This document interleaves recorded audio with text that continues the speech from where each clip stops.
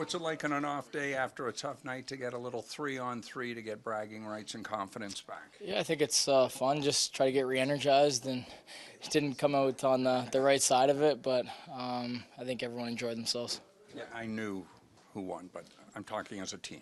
Uh, I couldn't even tell you who won. Once we were out of it, I kind of stopped paying attention. So uh, think Mitch probably lost also. But I mean, it's uh, like I said, just whenever you can, you know, have that quality time with each other, it's it's fun. It gets you re-energized, and uh, just turn the page and worry about the next game.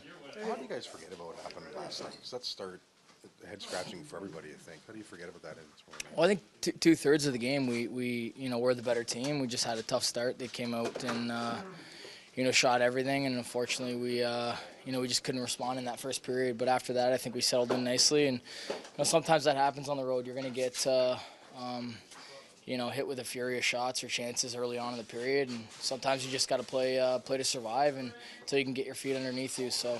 Fortunately, uh, you know they had a big power play goal, and that kind of sealed the game. But uh, we learned from our mistakes. How are you feeling right now? Obviously, the direction comes and goes, but just how do you feel about the state of your game at the moment?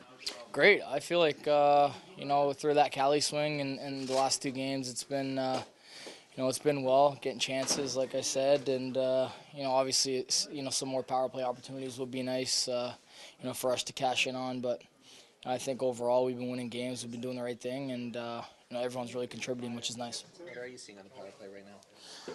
Um, we're, getting our looks. I mean, it's just uh, a matter of getting in that rhythm. Usually, I mean, I think it was you know just the other night there was no power play opportunities in the game, and you know once you start your your power play starts to feel good, and then you don't get a power play chance for a whole game. It kind of you know throws the rhythm off a little bit, but I feel like we're getting some good looks. It's just a matter of uh, you know timing.